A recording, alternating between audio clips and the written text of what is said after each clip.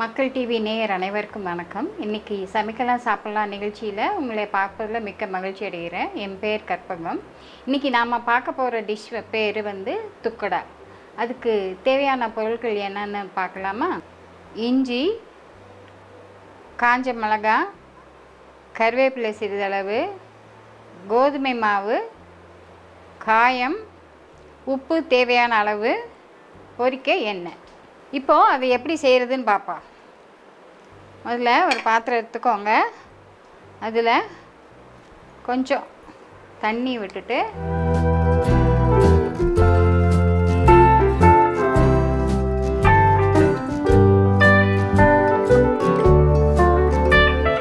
உப்பு பிஞ்சு உப்பு கொஞ்சம் போட்டுக்கிறேன். மாவை அதில் போடுறேன்.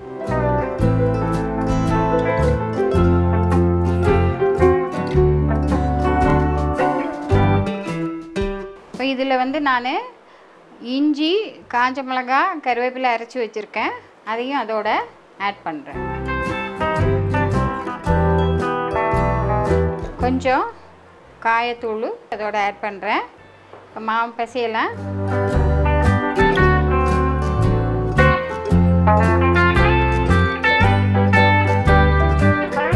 நல்ல சப்பாத்தி மாவு மாதிரி பிசைங்கலாம். இது ஒரு நல்ல ஹெல்த்தியான ஸ்நாக் ஸ்நாக்ஸு இது கோல்டு சீசன் வேறு. இந்த ஸ்நாக்ஸு ரொம்ப நல்லது உடம்புக்கு. இஞ்சி காஞ்ச மிளகாயெல்லாம் போட்டுக்கனால சளி கட்டாது சின்ன குழந்தைங்களுக்கு. அதனால் நல்லா விரும்பி சாப்பிடுவாங்க. நல்லா டேஸ்டியாகவும் இருக்கும். நிமிஷம் பதினஞ்சு நிமிஷத்தில் இந்த ஸ்நாக் நீங்கள் பண்ணிடலாம்.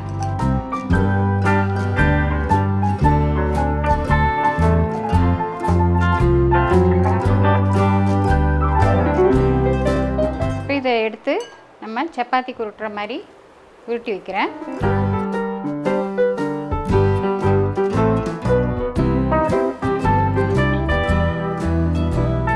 ரொம்ப ஈஸி இந்த ஸ்நாக்கு நிமிஷமாக பண்ணிடலாம். இது எல்லாமே வீட்டிலே இருக்கிற பொருள் தான் அதை வச்சு தனியாக ஸ்பெஷலாக இதுக்குன்னு வாங்க வேண்டாம். வீட்டில் இருக்கிறத வச்சு நீங்கள் இந்த ஸ்நாக் பண்ணிடலாம்.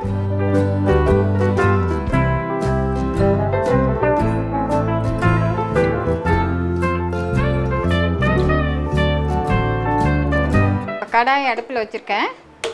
அடுப்பு பற்ற வைக்கிறேன். இப்போ எண்ணெயை ஊற்றுறோம் அதில். எண்ணெயை ஊற்றியாச்சு அந்த எண்ணெய் காயறதுக்குள்ளே நாம் இந்த சப்பாத்தி உருட்டி வச்சுருக்க சப்பாத்தியை திரட்டிடலாம்.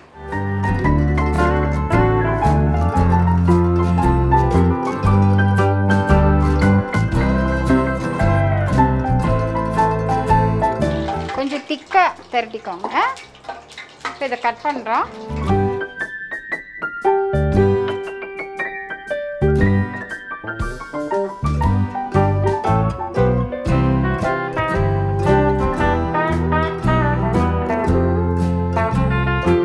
இது வந்து இந்த ரோலர் பின் வச்சு தான் கட் பண்ணணும் அப்படின்னு இல்லை. இந்த ரோலிங் கட்டர் வச்சு தான் கட் பண்ணணும்னு இல்லை. கையாலே கூட பிச்சு போடலாம். இது நல்ல துக்குடாக்கு இப்படி தான் ஷேப் இருக்கணும்னு அவசியம் இல்லை. ஆனால் இது போட்டால் கொஞ்சம் டெக்கரேட்டிவாக இருக்கும். ஆ, எண்ணெய் காஞ்சிடுச்சு இப்போ நான் அதில் போடுறேன்.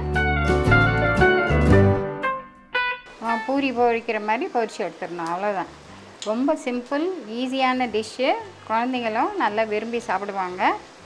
ஹெல்த்தியானதும் கூட.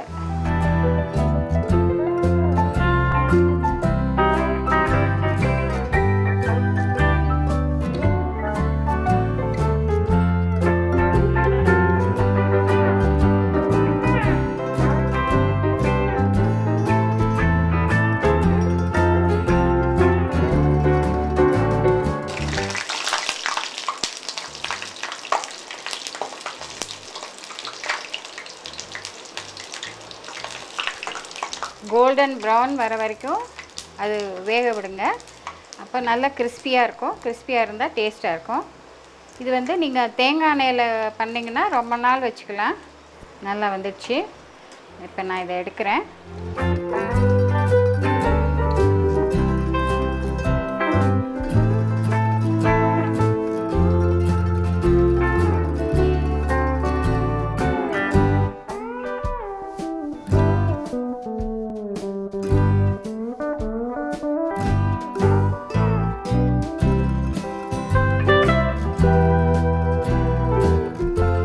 ரெடி ஆயிடுச்சு இது வந்து ஒரு நல்ல ஹெல்த்தியான ஸ்நாக்ஸு. அதுவும் மழைக்காலத்துக்கு ஏற்ற ஒரு ஸ்நாக்ஸு. இது நீங்கள் வீட்டிலே செய்யலாம். ரொம்ப எளிமையான வீட்டில் உள்ள பொருள்களை கொண்டே செய்கிறதுனால சாய் ஒரு பத்து நிமிஷத்துலேயே ரெடியாக செஞ்சிடலாம். எல்லா சிறுவர் முதல் பெரியவர் வரை நல்லா விரும்பி சாப்பிடக்கூடிய ஒரு ஸ்நாக்ஸ்.